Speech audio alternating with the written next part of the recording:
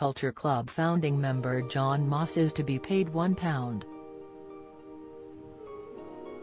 75 million by his former bandmates, after a court battle over the group's profits was resolved a week before trial. The drummer had brought legal action against lead singer Boy George, guitarist Roy Hay and bassist Michael Craig after allegedly being expelled by their manager in September 2018 following 37 years together.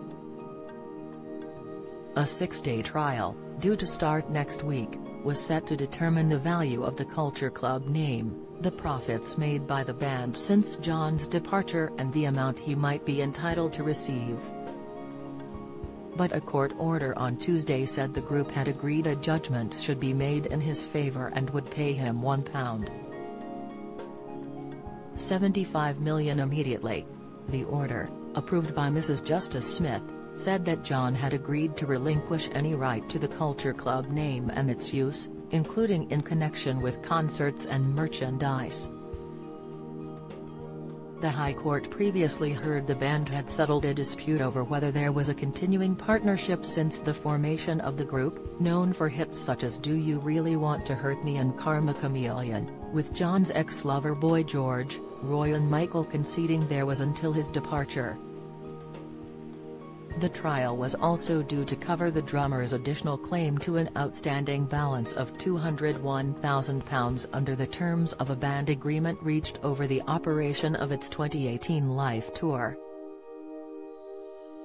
Boy George, real name George O'Dowd, Roy and Michael had defended the claims. The court also previously heard Jon had racked up £1 million in legal costs accusing the three of appearing determined to keep him out of sums to which he is entitled.